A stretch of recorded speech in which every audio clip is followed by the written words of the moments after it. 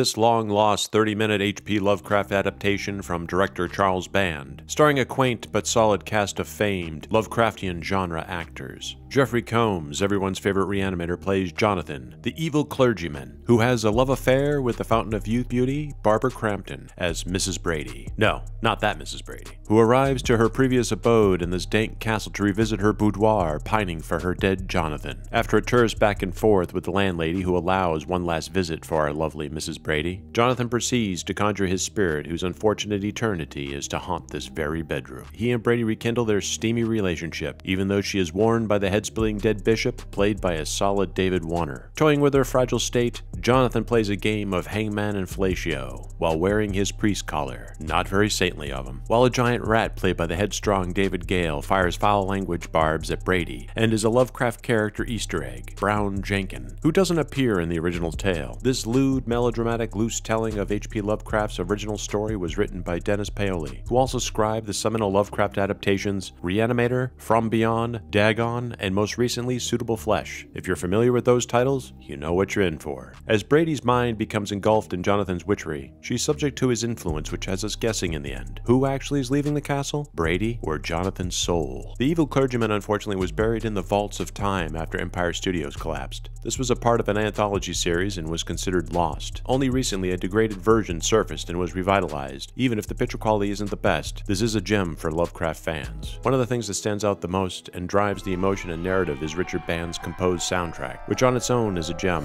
but truly enhances the theater-esque performances in the film. So if you're a Lovecraft fan who enjoys loose adaptations with some spice and foul-mouthed vermin, then this film is for you. Until next time. Blasphemer! Fuck you, shithead! Our first channel watch party double feature will air March 16th, right here on YouTube. So click links below to be notified. Many thanks for the support, and Hail Cthulhu!